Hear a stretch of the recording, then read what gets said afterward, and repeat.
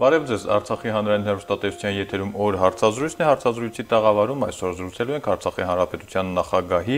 միջազգային հարցերով խորհրդական Նելլի Բաղդասարյանի հետ։ Բարև ձեզ, Տիկին Բաղդասարյան։ Շնորհակալություն զրույցի ավերը ընդունելու համար։ Վերջին շրջանում Արցախի շուրջ իրավիճակը բավական դինամիկ է զարգանում։ Արցախը մնում է շրջափակված, ապրիլի 23-ից էլ Հակարիի կամրջին ադրբեջանական անցակետը հայտնվեց ու մնում է առ այսօր։ Նախ ընդհանուր իրավիճակը ինչպես եք բնութագրում։ Իրավիճակը շարունակում է հետընթաց արձանագրել եւ զարգացումներն այստեղ ակնհայտ բացասական են մինչեւ այն պահը քանի դեռ անցակետը չի հեռացվել կամ այդ խոչընդոտը չի վերացվել եւ կարծում եմ այս իմաստով մենք ունենք բավական լուրջ խնդիրներ եւ ներողություն բերեք հստակեցնենք խնդիրը ոչ թե նո Արցախի խնդիրը ոչ թե էկոակտիվիստների արկայությունն է ոչ թե անցակետն է այլ այն որ միջանցքը մնում է փակ այսօր չգիտեմ անցակետ է 3 էկոակտիվիստներ էին վաղը չգիտեմ ինչ է խնդիրն այն է որ միջանցքը փակ է եւ դեկտեմբերի 12-ից առ այսօր չի օգտագործվում Այո, խնդիրը նաև երակոմ հայտարարության, երակոմ պայմանավորվածության խախտման մեջ է, փաստացի անցակետը ապօրինի տեղակայված է այս տարածքում։ Եվ փաստացի արտգործնախարարությունը Ադրբեջանի հայտարարեց, որ այդ անցակետը իրենք նախատեսում են շահագործել ռուսական կողմի հետ։ Այո, փաստացի հենց ամիջապես ապրիլի 23-ին հայտարարեցին։ Հենց նույն դրան հաջորդող ժամերին Ադրբեջանի արտաքին գործերի նախարարության հայտարարության մեջ կարծես թե ամեն ինչ ասվում էր։ Եվ հակառակը, այսպես ասենք, պնդող չեղավ։ Փաստացի այո։ Ակնկալում ենք, որ անցակետը կհանվի, դուք էլ նշեցիք, ամեն դեպքում նման հայտարարություններ հնչեցին, բայց անցակետը մնաց իր տեղում։ Դա անակնկալ է համարում, թե այդ զարգացումների ֆոնին բավական կանխատեսելի էր կարծում եմ կանխատեսելի էր, որովհետև իրավիճակի ուսումնասիրությունը եւ ընդհանրապես պաշտոնական տեղեկատվության ուսումնասիրությունը թույլ է թույլ էր տալիս ասելու, որ մինչև անցագետի տեղադրումը արդեն իսկ դրա տեղեկատվական ֆոնը նախապատրաստվել էր եւ անցագետի տեղադրման պահը եւ անցագետի տեղադրումից հետո, ինչպես արդեն նշեցինք Ադրբեջանի արտաքին գործերի նախարարության հայտարարությունը հաջորդող ժամերին որևէ կասկած չէր թողում, որ փաստացի անցագետը չէր հանվելու եւ առնվազն թույլատրված է եւ գուցե այստեղ ինչ որ որ կարելի է մտածել, որ այո դիվանագիտական քաղաքական լծակները կարող էին ինչ-որ հարց լուծել, բայց աշխարհակաղակական զարգացումների ֆոնին, այս պահին տեղի ունեցող աշխարհակաղակական զարգացումների ֆոնին հավանաբար մեծ ակնկալիքներ ունենալ պետք չէր։ Համենայն դեպս իմ սուբյեկտիվ կարծիքով այդպես էր բանակցային գործընթաց նախ հստակեցնենք որպես այդպեսին Բաքու Ստեփանակերտ որևէ մակարդակում երկխոսություն այս պահին չունենք Այո, ճունենք, բանակցային գործընթաց ավելի կարծես ծավալվում է Հայաստանի Հանրապետության եւ Ադրբեջանի միջև կան բանակցություններ, իսկ ինչ վերաբերում դրանք կանդրադառնանք Ստեփանակերտ Բաքվի մասը փակենք եւ անցնենք Երևան-Բաքվի թեմային։ Ստեփանակերտ Բաքու եղավ հանդիպումների 1-2 դրվագ, հետո էլ չկա։ Այո, մարտի 1-ից հետո Ադրբեջանի եւ Արցախի հանրապետության պաշտոնական ներկայացուցիչների միջև հանդիպումից հետո փաստացի այս ամենը փակուղի մտավ եւ այս դեպքում Ադրբեջանի մաքսիմալիստական պահանջներն էին եւ առանցքային խնդիրներից շեղումը։ Այս այս հանդիպումները նախատեսված էին լուծելու տնտեսական եւ տեխնիկական հարցեր, բայց Ադրբեջանը Ստեփանակերտը ակնկալում էր, որ պետք է լուծվեն տնտեսական, հումանիտար հարցեր։ Այո, բայց Ադրբեջանը ուներ միայն մեկ հարց։ Մեկ հարց, դա հանդիպման ժամանակ արծարծվեց եւ հանդիպումից հետո Ադրբեջանի պաշտոնական ներկայացուցիչի կողմից այս հարցը ներկայացվեց որպես հանդիպմանը քննարկված առանցքային հարց եւ հետեւաբար բնականաբար նման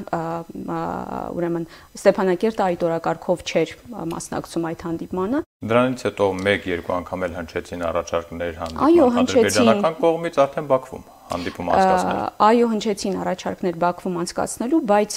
ֆորմատը Ստեփանակերտը հրաժարվեց հաշվի առնելով ֆորմատը, որովհետև սա նախատեսվում է Բաքվի կողմից սա դիտարկվում է որպես միջհամայնքային հանդիպումներ, այլ ոչ թե իսկապես լեգիտիմ իշխանություն ընտրված, լեգիտիմ ճանապարհով ընտրված իշխանությունների ներկայացուցիչների միջև հանդիպումներ։ Այ հիմա արդեն կարող ենք խոսել Բաքու-Երևան բանակցությունների մասին։ Եղավ Բրյուսելյան հերթական հանդիպումը Հայաստանի եւ Ադրբեջանի ղեկավարների միջև, հետո եղավ Հայաստանի Հանրապետության վարչապետի մայիսի 22-ի հայտնի ասուլիսը, որի ընթացքում հայտարարեց, որ Հայաստանն ու Ադրբեջանը փոխադարձաբար կարող են ճանաչել միմյանց տարածքային ամբողջականությունը, հետո եղավ Մոսկովյան հանդիպումը, որի ընթացքում հակառակ անոնսավորվածի փաստաթուղթ չստորագրվեց այս դինամիկայով մեկ անգամ անցնենք տեսեք ստիպված ենք արձանագրել որ կոնկրետ մեր Լեռնային Ղարաբաղի հանրապետության Արցախի հանրապետության հետ կապված հարցերը ազատ անկման փուլում են որովհետև այս իմաստով որևէ դրական միտում չկա փաստացի այս պահին եթե խոսվում է Լեռնային Ղարաբաղի ժողովրդի անվտանգության եւ իրավունքների պաշտպանության կամ Բաքու Ստեփանակերտ միջազգային մեխանիզմների երկխոսություն միջազգային մեխանիզմներով պաշտպանելու մասին, այստեղ ակնհայտ է, որ Ադրբեջանը ունի ծուղակներ եւ բնականաբար Ադրբեջանի կողմից այս միջազգային մեխանիզմները բնականաբար չեն ընկալվում, այնպես ինչպես մենք ենք պատկերացնում, բայց ամեն դեպքում կարծում եմ, որ սա պետք է միջազգային դերակատարների համար հստակ ազդակ լինի եւ նրանք նրանց համար պետք է սա լուրջ խնդիր լինի, եթե իսկապես կա լուրջ մտահոգություն։ Ինչ վերաբերում է Մոսկովյան հանդիպմանը, ապա կարծում եմ ակնհայտ էր, որ այստեղ կողմերը բևեռացված էին իրենց ինչպես Ռուսաստանի նախագահի կողմից նշվեց երկրորդական հարցերում կարծես տարաձայնություններ կային։ Ես նրա խոսքերն եմ խոսքերով եմ ուզում բնութագրել իրավիճակը, որովհետև փաստացի սրանք երկրորդական հարցեր չէին, բայց ընդհանուր եւ ընդհանուր առմամբ բնական է, որ այս ֆոնին, այս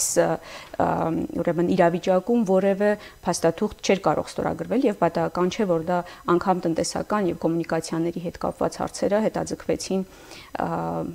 մեկ շաբաթ անց եւ այսօր պետք է տեղի ունենա փոխվարչապետերի մակարդակով հանդիպում, որտեղ պետք է քննարկվեն հենց տնտեսական ապաշրջափակման հետ կապված հարցեր։ Տեսեք, գուցե շատ չի բարձրաձայնվում, բայց ակնհայտ է, որ Արցախի հետ կապված հարցը եւս այնպես չի, որ վերջնական լուծված են համարում եւ Հայաստանից տարբեր մակարդակներով էլ հայտարարություններ հնչում են, որ խնդիրը այն չէ, թե Ադրբեջանը ինչպես է պատկերացնում այդ միջազգային մեխանիզմները ասված, այլ այն է, որ պետք է լինեն ռեալ մեխանիզմներ, որոնք կընկալվեն բոլորի կողմից եւ կպահպանվեն եւ անգամ մեսիջները հնչում, որ եթե նման հնարավորություններ չլինեն, բարձրապես Հայաստան-Ադրբեջան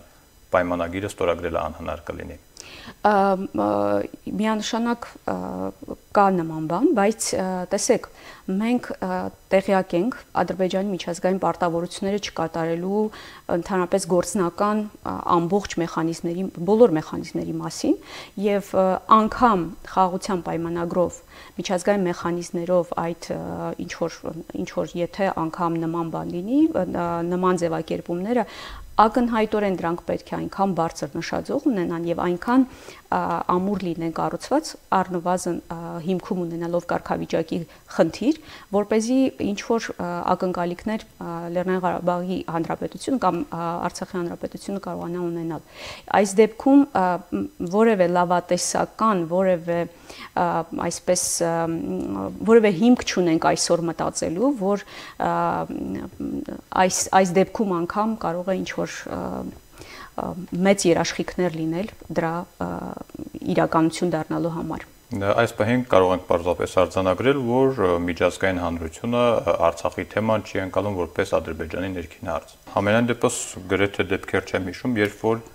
որևէ պետության ներսում հարցը լուծելու համար խնդիր դրված լինի ունենալ միջազգային մեխանիզմներ։ Ամեն դեպքում այո, այս փաստը իսկապես կարևոր է, որ միջազգային մեխանիզմների անհրաժեշտությունն առաջանում է այն դեպքում, եթե կա սուբյեկտի խնդիր եւ սուբյեկտի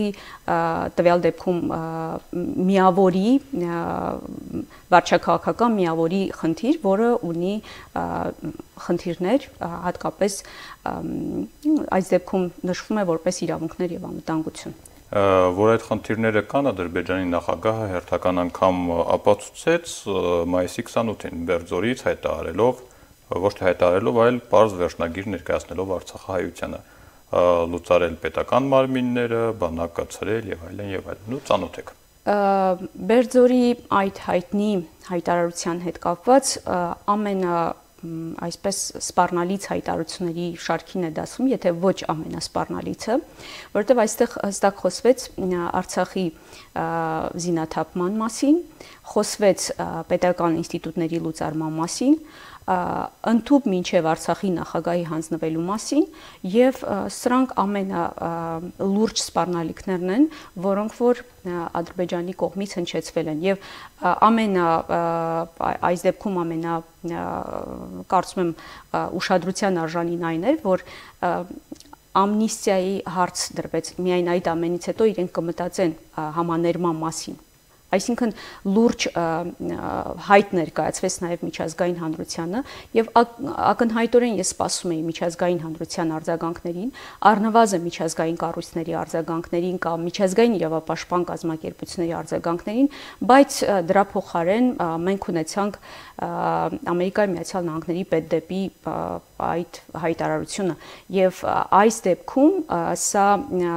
կարծում եմ որ պետդեպի կողմից հնչած պաշտոնյայի խոսնակի կողմից հնչեցված այս հայտարարությունը շատ խնդրահարույց էր այն իմաստով որ փաստացի ինքնորոշման ճանապարհով անցած պետությունը եւ նրա բնակիչները եւ նրա լեգիտիմ ընտրված իշխանությունները փաստացի ստացվեց, որ նույնիսկ ամնիստիայի խնդիր ունեն եւ կա պետություն, որը ողջունում է այս գործելակերպը։ Այսինքն սա ժողովրդավարության դեմ, ժողովրդավարական արժեքների դեմ լուրջ մարտահրավեր էր եւ գուցե գուցե առաջիկայում ՊԴՊ կվերանայի իր որոշումը, որովհետև սա բավականին կոշտ արձագանք գտավ գրեթե բոլոր շրջանակների կողմից իրականում դա եւ իրականում դա ակնհայտ էր, որ մեծ դժգոհություն կա ընդհանրապես այս հայտարարությունը ամենադրական ուրեմն գծերով ընկալվեց միայն Ադրբեջանում, որ փաստորեն նրանք համաձայն են։ Ադրբեջանի նախագահի վերջնագրային ձևակերպումներից էր նաև զինաթափման հետ կապված հարցը եւ այս դեպքում ընդհանրապես Արցախի ամբողջ ընդհանրապես Արցախում Արցախի զինաթափման խնդիրը դրվեց եւ փաստացի սա լուրջ խնդիր է, որովհետեւ Արցախի դեպքում Արցախի ժողովուրդը իրականացնում է իր ինքնապաշտպանության իրավունքը, որը պաշտպանված է ՄԱԿ-ի կանոնադրությամբ, ՄԱԿ-ի կանոնադրության 2-րդ հոդվածի 4-րդ կետով, ՄԱԿ-ի կանոնադրության 51-րդ հոդվածով, ՄԱԿ-ի գլխավոր ասամբլեայի համապատասխան բանաձևերով եւ այս դեպքում մենք ունենք համապատասխան միջազգային իրավական հիմքերը, որոնք իրացրել ենք տասնամյակներով տասնամյակներ շարունակ եւ ինքնորոշման ճանապարհին մենք օգտվել ենք հենց ինքնապաշտպանության իրավունքից եւ սա որևէ կերպ չի հակասում միջազգային իրավունքին։ Այս դեպքում կոնկրետ խնդիրները հենց Ադրբեջանի գործելակերպի մեջ են, որովհետեւ միջազգային բոլոր փաստաթղթերում հակամարտության կարգավորման լուծումը, կարգավորումը տեղի ունենում նաև ապառազմականացման ճանապարհով, բայց մենք ունենք բոլոր հիմքերը, բոլոր ակնհայտ փաստերը, որ Ադրբեջանը գնում է գերրազմականացման ճանապարհով, ընտրել է հարձակողական, ընտրու շարունակում է իր զինանոցը համադրել, համալրել հարձակողական զինատեսակներով, շարունակում է Արցախի հանրապետության Ադրբեջանի կողմից օկուպացված տարածքներում ստեղծել, կառուցել ուրեմն ռազմական օբյեկտներ եւ ունեն փաստացի այս ամենը ինչպես նաեւ այս ամենի մեջ կարելի է նաեւ առանձնացնել կոմանդոյի կոմանդոսի այդ զորավարժությունները, որոնք ակնհայտորեն բնակավայրերի ներսում կատարվող ուրեմն զորավարժություններ են եւ այս բոլոր սպառնալիք իհարկե սրանք այս բոլորը մեզ համար անվտանգային սպառնալիքներ են եւ այս դեպքում զինաթափման այս վերջնագրային ձևակերպումը հասկանալի է որ հաջորդ փուլը լինելու է դրա հաջորդ փուլը լինելու է ներխուժումը եւ ադրբեջանը բնականաբար այս պլանները չի քողարկում ու սրանք ակնհայտ են հանդիպումները, բանակցությունները շարունակվում են եւ այս շարքում ամենաթարմ նորությունը Մոլդովայում կայացած Փաշինյան-Ալիև հերթական հանդիպումն է։ Ու այս անգամ հնգակողմ։ Դրա մասին ինչ կարող ենք ասել այս վերջին հանդիպման մասին կարող ենք արձանագրել, որ բրուսելյան տրամաբանությունն է, առանցքային հարցերը բրուսելյան հարցերն են, որոնց հիմքում ընկած է Պրահայի ուրեմն հայտարարությունը, պայմանավորվածությունը եւ այս դեպքում փաստորեն արդեն իսկ որոշակի տեղեկատվություն տեղեկատվություն կա ուրեմն հրաապարական տեղեկատվություն կա, որի հիմքի վրա պետք է ասել, որ այս դեպքում արդեն իսկ խոսվում է խոսում է այն մասին, որ դելիմիտացիա, դեմարկացիա պետք է արվի ըստ 1975 թվականի քարտեզների, ինչը բնականաբար Հայաստանի համար կրկին տարածքային խնդիրներ է ստեղծելու։ Ինչ վերաբերում է մեր հետ մեզ հետ կապված հարցերին, ապա այս հնգակոմ հանդիպման ուրեմն ֆորմատ ֆորմատը պատահական չէր եւ պատահական չէր Գերմանիայի ներկայացվածությունը այստեղ, որովհետեւ սրանով Ադրբեջանը փորձեց հակակշռել Ֆրանսիային, որպես իրենց բնթագրմամբ հայամետ ակտորի այս դեպքում կարծում եմ որ նրանք նաև մակրոնի հայտարարությունը ուրեմն Քիշնիևի հանդիպումից հետո շատ խիստ դատապարտեցին, որ փաստորեն միակողմանի հայտարարություն արվել այս մասին եւ եթե Շարլ Միշելի հայտարարության մեջ ուղղակիորեն նշվեց, որ քննարկել են սահմանազատման, կոմունիկացիաների, իրավունքների եւ անվտանգության հարցեր, ապա Մակրոնի հայտարարության մեջ նաեւ շեշտվել էր Լեռնային Ղարաբաղի հետ կապված հարցեր եւ կարծում եմ որ սա է որ ադրբեջանական կողմը այդքան կոշտ գնահատեց եւ ընդունեց եւ փաստացի հակակարոշչություն է ցավալվում այս պահին Ուրեմն սպասենք հետագա զարգացումներին։ Կարծես թե դեպքերը բավական արագ են սկսել զարգանալ կարող ենք սպասել զարգացումների, բայց այս զարգացումները կարծում եմ, որ այս զարգացումների մեջ կարծում եմ, որ մեր անելիքը շատ մեծ է կոնկրետ Արցախի հանրապետության մասին է խոսքը, որովհետև որևէ հետընթաց արդեն իսկ մեծ խնդիրներ կարող է ստեղծել նաև մեզ համար, որովհետև այս պահին ունենք միջազգային իրավական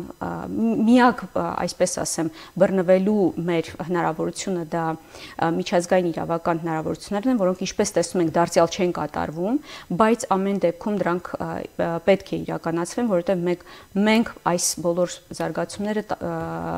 դիտարկում ենք ռասայական խտրականության բոլոր ձևերի վերացման համատեքստում եւ ինչպես նաեւ այս բոլոր զարգացումները շրջափակումը եւ մնացած բոլոր ուրեմն ադրբեջանի կողմից ծավալված մնացած բոլոր գործողությունները դիտարկվում են հենց ցեղասպանության կանխարգելման ուրեմն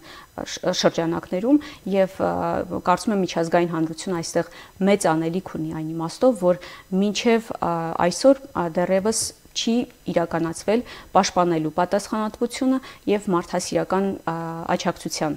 այս երկու գործնական մեխանիզմները դեռևս չեն իրագործվել եւ մենք ակնկալիքներ համենայն դեպս շարունակում ենք ունենալ այս իմաստով Շնորհակալություն Տիկին Բաղդասարյան հետաքրքիր զրույցի համար Ձեզ եւս հիշեցնեմ, որ հարցազրույցի տաղավարում այսօր զրուցեցինք Արցախի հանրապետության նախագահի միջազգային հարցերով խորհրդական Նելի Բաղդասարյանի հետ Այսքանն ենք նախատեսել։ Մնացեք խաղաղությամբ։